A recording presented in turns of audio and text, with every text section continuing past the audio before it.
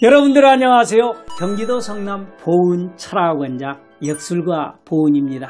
오늘은 2024년 5월의 돼지띠 운세를 나이별로 준비하여 왔습니다. 궁금하신 분들은 채널 고정해 주시고 끝까지 시청해 주시길 바랍니다.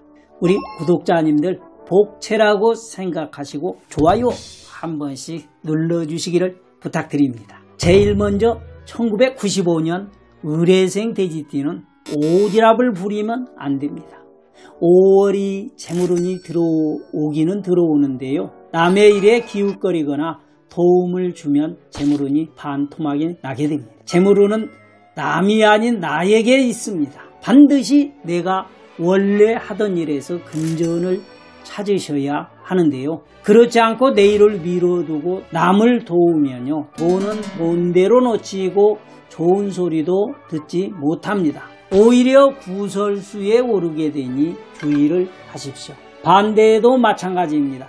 일을 할 때 남의 손을 빌리면 문책을 받기 쉽습니다. 내 이름을 걸고 하는 일, 내가 시작하는 일을 반드시 내 손으로 마무리를 지으십시오. 예를 들어 직원에게 가게를 맡겨두고 밖으로 나가거나 부하 직원에게 일을 시키고 나의 책임을 소홀히 하면은요 신용을 크게 잃게 됩니다. 특히 자영업자는 신용이 곧 뭐다? 돈이다. 그래서 조심을 하셔야 하겠지요. 이 5월에는 아주 이 의욕이 넘치기 시작할 거예요. 의뢰생분들은 아직 젊으시잖아요. 패기 그리고 들끓어서 창업, 사업, 투자, 취미활동 무엇이든지 해보고 싶은 욕심이 드실 겁니다. 하지만 멀리서 보면은요 맨손으로 황소를 잡겠다고 덤비는 꼴이 됩니다. 태기는 좋지만 계획도 없이 나서면 객끼리만 부리게 되니까요. 계획을 철저히 세우십시오. 주도 면밀하게 나가시면 성공은 따놓은 당상이 되니까요.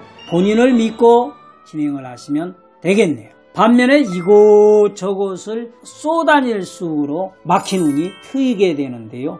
출장이든 여행이든 여러 곳을 다니면서 좋은 인연을 만나면 인생의 전환점을 맞을 수 있습니다. 이어서 1983년 개해생 돼지띠는 사기꾼을 조심하십시오. 관제구설 시비가 들어오면서 처음에는 속옷까지 벗어주려고 하는 사람이 구밀복검이라 배신을 하게 되면은 뱃속에 비수를 감추고 있다 이 말입니다. 개생은 전체적으로 운이 좋지만 5월에는 눈 뜨고 코를 베이는 수가 있습니다. 특히 뒷거래, 암거래를 통해서 크게 손해볼 수가 있는데요. 예를 들면 명품을 좀 싸게 사려고 중고 거래를 하다가 사기를 당할 수도 있고요. 진품이라고 해서 샀는데 알고 보니까 짜퉁이거나 이런 사고가 생길 수 있다 이 말입니다. 되도록 욕심 부리지 말고 사치를 멀리 하시는 게 좋은데요. 정 갖고 싶은 것이 생기면 정식으로 제값을 주고 구매를 하십시오. 또한 5월의 운기는 가까운 사람에게 크게 실망을 할 수 있는 운기입니다. 금전거래는 당연히 금물, 가족이 아닌 사람을 가족처럼 대하는 것도 금물입니다. 한 달 동안은 마음을 아끼시는 게 좋겠네요. 정리를 하자면요. 5월에는 뒤통수를 조심하십시오. 그것만 제외하면 건강도 좋고 금전에도 부족한 것이 없으니 평탄한 운세입니다.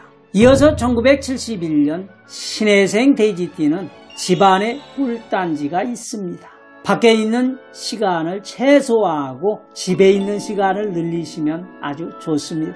가족의 화합은 둘째 치고요. 그렇게 하셔야 고생을 피하고 또 재물운을 내가 지킬 수 있습니다.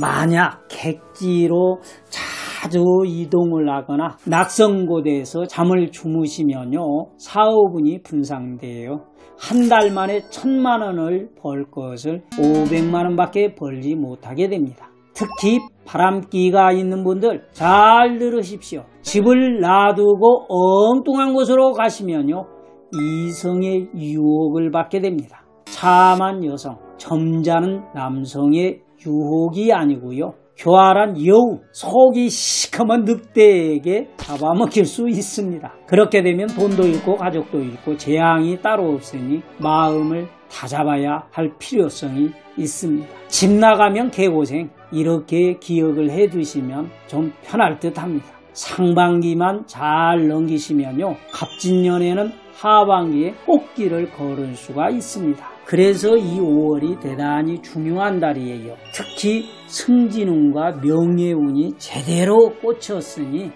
충분히 성공하실 수 있는데요. 비록 5월까지는 돈을 써야 하는 곳이 많아서 지출 때문에 스트레스를 받을 수 있겠지만요. 지금 허리띠를 살짝 졸라매서 돈을 바짝 모아 두시면요. 하반기에 든든한 보험이 될 것입니다. 지금 당장은 많이 버는 것보다 잘 지키는 데 집중하시면 좋겠네요. 이어서 1959년 기해생 돼지띠는 건강도 회복하고 재물도 회복이 됩니다. 기해생은 신해생과 마찬가지로 하반기부터 아주 좋은 운들이 들어오는데요. 5월이면 중간이 아닙니까? 그래서 5월부터 회복세를 타기 시작한다고 보시면 됩니다. 건강부터 말씀을 드리면요. 지금까지 미뤄왔던 치료를 받으시면 좋습니다. 예를 들면 용종을 떼거나 종기를 없애거나 하다못해 잡티를 지우는 시술도 괜찮은데요. 무엇이든 몸에 있는 것을 제거하는 치료를 받으시면 막힌 우를 뚫는 개운법이 될 것입니다. 재물운을 말씀을 드리면 중대한 결정은 가급적이면 하반기로 미루시면 좋습니다. 특히 땅을 사고 파는 결정은 심사숙고하셔야 되는데요. 5월은 매사에 욕심을 경계하셔야 오히려 금전운의 발복이 잘 되는 달입니다. 투자운도 마찬가지로 욕심이 용소 좀 쳐서 자칫 투기를 할 수도 있는데요. 그러다 보면 낭패를 보기가 아주 쉽습니다. 모쪼록 전문가에게 맡기시거나 조언을 받는 게 좋겠습니다. 또 5월에는 이사를 가는 분들이 많으실 텐데요. 조언을 드리자면 서쪽, 남쪽으로 이동하는 것은 아주 좋습니다. 그러나 거주지를 옮기지 말고 제 자리를 지키는 것이 더욱 좋습니다. 움직인다고 무조건 긍정적인 에너지를 받는 것은 아니니까요. 인테리어를 바꾸거나 책상이나 현관문에 방향을 바꾸시면서 지금의 자리에서 이 기운을 극대화하는 것이 오히려 더 좋을 것 같습니다. 지금까지 귀한 시간 함께 해주신 사랑하는 구독자 여러분들 대단히 감사합니다. 궁금하신 내용 등 여러분의 의견도 기다립니다. 아래 댓글창에 댓글로 남겨주시고요. 저는 다음 시간에 더 좋은 영상을 준비해서 또 찾아뵙도록 하겠습니다. 여러분들 안녕